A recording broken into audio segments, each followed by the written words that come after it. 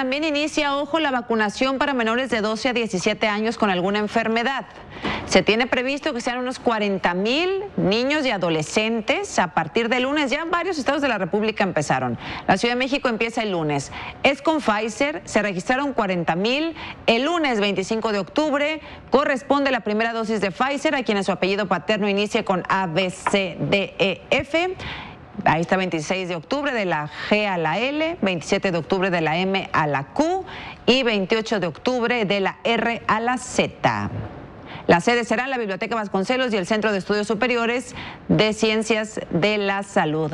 Acuérdese que eh, para que los niños con alguna enfermedad puedan ser vacunados en esta primera tanda, hay que registrarlos en mivacuna.salud.gov.mx. Le va a dar un comprobante y ahí pues le van a decir le van a decir la cita eh, y todo. Si no lo quiere hacer por ahí, vaya, vaya a este número. Al SMS. ¿Cuál era el número? El 51 515, ¿correcto? Bueno. Eh, Eduardo Clark, director de la Agencia Digital de la Ciudad de México en la línea. ¿Cómo estás, Eduardo? Buenas tardes. Hola, Susana, un gusto acompañarlos. Gracias por la invitación. Gracias. Pues listos entonces para arrancar el lunes con eh, la aplicación de la primera dosis de Pfizer a niños y adolescentes de entre 12 y 17 años, Eduardo.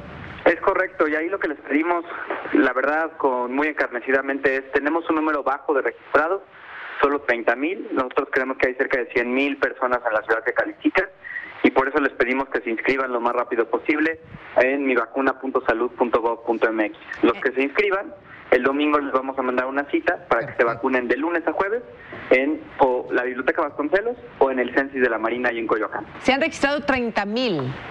Exacto, es un número bajo a nuestro parecer. 30 mil de 100 mil, me dices aproximadamente. Es, es, lo que estimamos exactamente, entre 100 a 120 mil, entonces pues pueden ver que es un número bajo de registrados.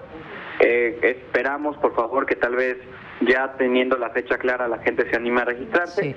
porque nos ayuda no solo a generar las citas, sino también a, a, hacer la mejor planeación posible. Si sabemos cuántos van a llegar exactamente, podemos garantizar que a todos los tratamos con el respeto, cariño y agilidad que se merecen. Por supuesto, y saber cuántas segundas dosis vas a necesitar, porque Pfizer son dos, etcétera. Ayudamos a la planeación. Entonces, hoy y mañana, que se registren en mivacuna.salud.gov.mx, que se registren a los niños de entre 12 y 17 años que cumplan con qué características, Eduardo. Es una lista muy larga, no me la puedo echar al aire porque nos echamos toda la entrevista, son cerca de 40 comorbilidades. Ahí mismo las pueden consultar en mivacuna.salud.gov.mx. Es una lista larga e involucra padecimientos bastante serios. Entonces, si su hijo tiene algún problema de salud, eh, verifiquen que se encuentra dentro de esa lista aprobada. Está desde obesidad grado 2, 3, eh, diabetes, cáncer, eh, algunos problemas de, de, los riñones. O sea, si su niño sí, problemas tiene. neurológicos, trastornos. La verdad son problemas serios, eso hay que uh -huh. dejarlo claro. Son, son niños que desafortunadamente tienen problemas serios de salud. Algún niño con síndrome Down, etcétera. Si, si su niño tiene alguna enfermedad, alguna comorbilidad, vaya y échele un ojo a la lista. Si está ahí, anótelo, aproveche, porque pues ahora básicamente llevamos 30 mil de 100 mil. Por lo pronto listos para esos 30 mil a partir del el lunes, Eduardo. Déjame hacer otro paréntesis. Que se registren sábado, domingo, perdón, viernes y sábado y el domingo les van a estar, estar enviando la, la cita, ¿no? Es correcto, el domingo en la mañana, ya con todos los registrados, vamos a enviar las citas.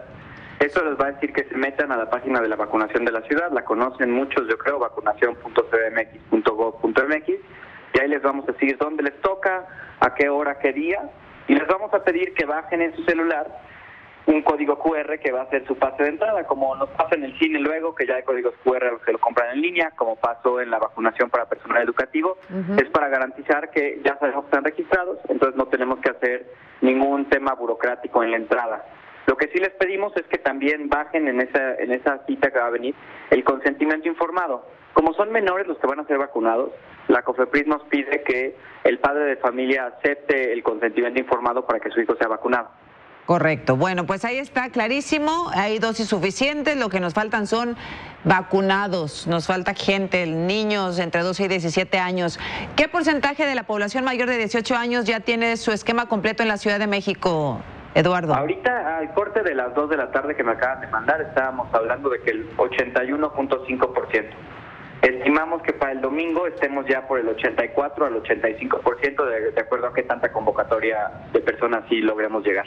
85% y la expectativa es llegar arriba del 90 o ¿O cuál Más de eso, yo creo, no es mi expectativa y si me, si me pidieran una proyección, yo creo que vamos a terminar el próximo jueves, es decir, ya para dentro de una semana con estos números, estar por ahí del 96 al 97% de los adultos con el esquema completo. Perfecto. Y aquí nos están preguntando otra cosa, no sé si tú tengas la respuesta, pero te voy a hacer la pregunta. ¿Para cuándo la vacuna contra la influenza en la Ciudad de México? Vamos a iniciar la semana del 2 de noviembre. El 2 de noviembre inician los anuncios justo lo platicaba hace rato con nuestra secretaria de salud, con la doctora Oliva López, eh, vamos a iniciar con los grupos vulnerables que tradicionalmente han sido las personas con las que se inicia, mayores de 65 años, niños menores de 5 y personal de la salud. Perfecto. Oye, respecto a la, nos preguntan también respecto al registro de niños, ¿solo niños que puedan comprobar que viven en la Ciudad de México?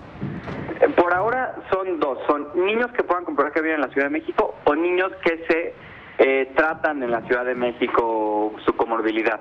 A diferencia de otras etapas, aquí lo que nos interesa es mucho más fácil planear el número de dosis de acuerdo a la gente que se registra en mi vacuna. Entonces se pueden registrar, no vamos a pedir un comprobante de domicilio, lo único que necesitamos es que se registren y declaren que quieren ser vacunados en la ciudad. Y eso involucra en la página de mi vacuna pones dónde vives, pero también pones en qué lugar te gustaría vacunar, entidad federativa. Correcto, bueno, pues que les vaya, que les vaya muy bien. A ver, aquí dice, ya estoy embarazada, tengo 32, me toca la segunda Sputnik en la Miguel Hidalgo. Ya pusieron la segunda dosis, pero se me pasó. Eso es, es, una, esta semana, y aquí me puedo echar los anuncios de rezagados eh, de los distintos grupos, son cualquier rezagado de Sputnik, cualquiera que ya se le pasó la segunda dosis, puede ir esta semana a las son nueve sedes que tendremos de Sputnik en cuatro alcaldías, Coyoacán, Álvaro Obregón, Iztapalapa y me falta una, Azcapotzalco. Cualquiera que se le pasó a Sputnik puede ir ahorita, lo único que tiene que llevar es su comprobante de primera dosis, ninguna otra pregunta. Las personas que no se vacunaron de ninguna vacuna, les vamos a poner una unidad vacunadora justo para ese propósito en la Expo Ciudad Universitaria de lunes a viernes con AstraZeneca, con tener 18 años cumplidos, no necesitan ningún otro requisito si no tienen primera dosis.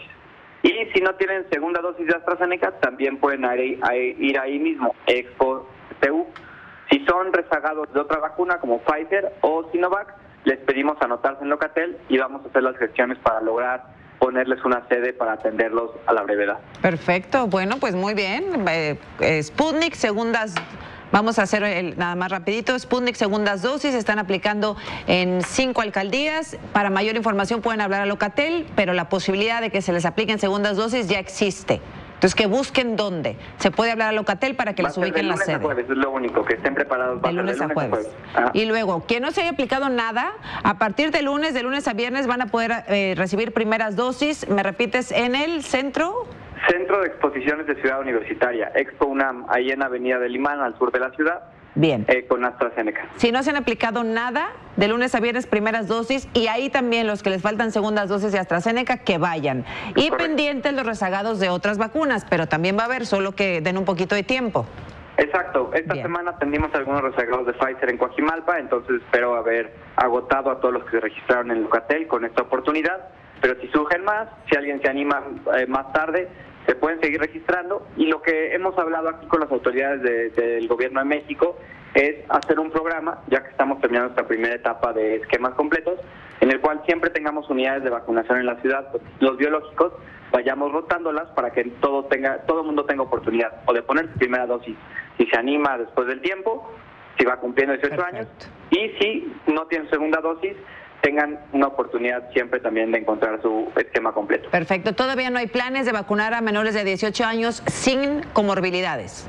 Por ahora no nos ha notificado esto el equipo del Plan Nacional de Vacunación. Como tú sabes, en la Ciudad de México como gobierno implementamos lo que ellos norman y el día que estén eh, esos criterios estamos totalmente listos para hacerlo. Perfecto, Eduardo Clark, como siempre, muchas gracias y éxito la próxima semana. Buenas tardes. Que estén muy bien, hasta luego. Gracias, buenas tardes.